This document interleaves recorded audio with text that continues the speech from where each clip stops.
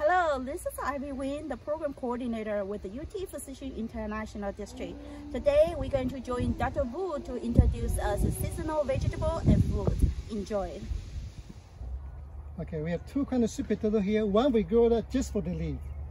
This is how you grow. You take a piece.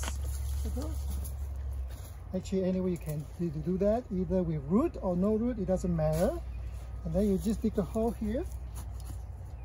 Dig a hole, and then you punch in there, tighten it, and then you just water it.